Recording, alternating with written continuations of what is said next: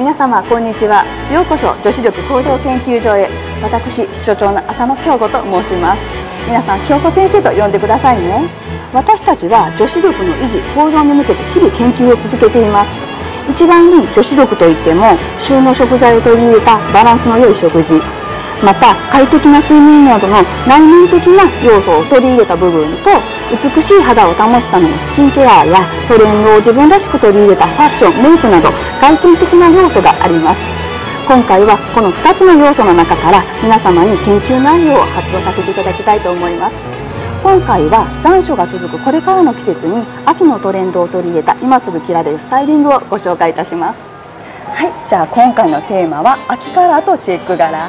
今すぐ着られる素材と組み合わせられることで秋のトレンドファッションを楽しんでいただきます。まずはリミテッドエディションアベックモードからご紹介いたします。まずこちらのチェックのガウトパンツ。こちらにつきましては春夏から継続のトレンドアイテムになります。そしてこの上に合わせたブラウス。こちらがポイント。まだ秋口の暑い中でも清涼感を感じるライトグレー。そして縦のラインをしっかり強調させてくれる同色系のストール。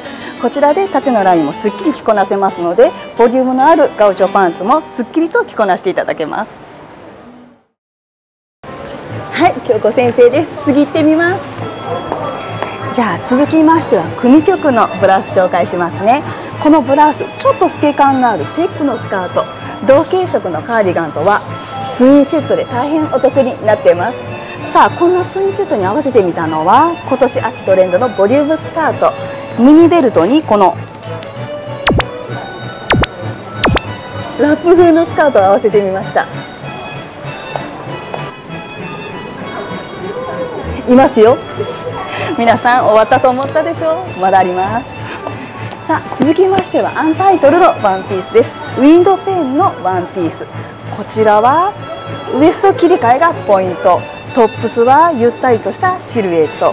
ボトムは落ち感のあるすっきりとしたシルエットで女性らしいラインを演出しております。この秋カラーの配色がとてもおすすめの1枚です。ぜひ秋参考にしてみてくださいね。皆様いかがでしたでしょうか？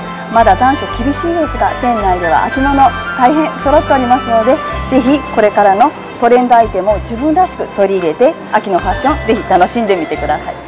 そうしましたらここで私の一句。伝わらない鉄板ネタが古すぎて。はじめまして浅野と申します。こんにちは。うちねメンバー常人揃ってるので、えーと、私はうん例えるならパーマン4号かな、4号知らない。パーマン知らない。あよかったらネットで検索してみて。あお疲れ様でした。